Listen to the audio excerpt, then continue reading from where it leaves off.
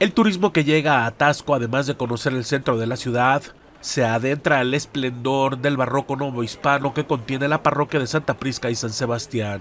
Varios de los visitantes cuando están dentro de la nave principal del monumento histórico se dirigen a conocer la escultura de la Virgen de Guadalupe más grande del mundo hecha en plata. La observan y se toman la foto del recuerdo.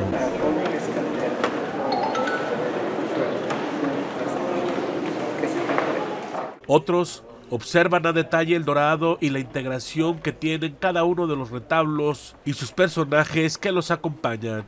También aprovechan para descansar o hacer oraciones y apreciar el arte barroco de mitad del siglo XVIII que aún está presente en Guerrero, específicamente en Tasco.